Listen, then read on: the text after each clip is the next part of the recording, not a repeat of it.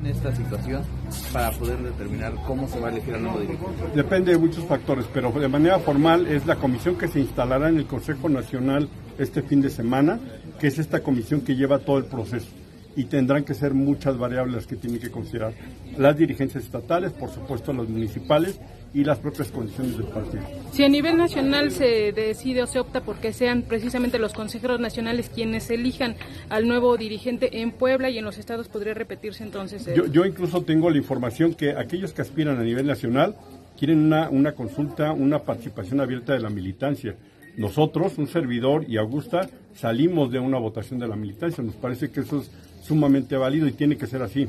Si fuera un caso distinto, tendría que determinar la comisión dependiendo de las circunstancias.